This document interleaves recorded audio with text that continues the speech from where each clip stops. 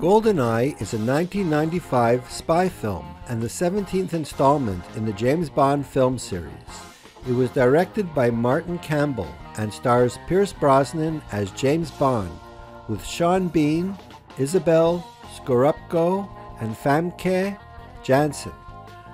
The film follows Bond as he investigates a sinister organization called Janus, which is using a powerful satellite weapon to destroy London and possibly the Earth. Bond teams up with his former lover, Natalya Simonova, played by Isabel Scorupco, and a former KGB agent, Alex Trevelyan, played by Sean Bean, to stop the group's plan.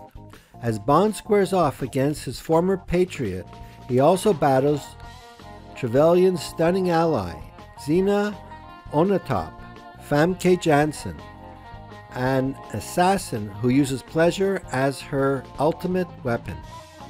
GoldenEye was the first James Bond film to feature Pierce Brosnan in the lead role and was widely praised for its action scenes, character development, and technological innovations.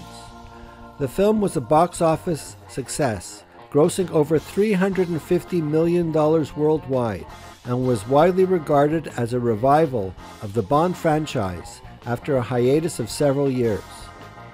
GoldenEye's soundtrack, featuring the title track by Tina Turner, was also highly successful.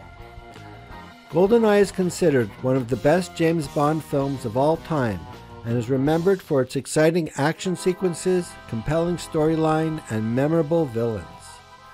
Just a bit of trivia. Minnie Driver earned just $5,000 for her role as an inept singer who performs Stand By Your Man in Robbie Coltrane's club.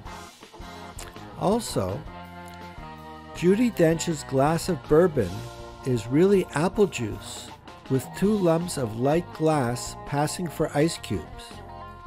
Pierce Brosnan drank ice water instead of the famous vodka martini.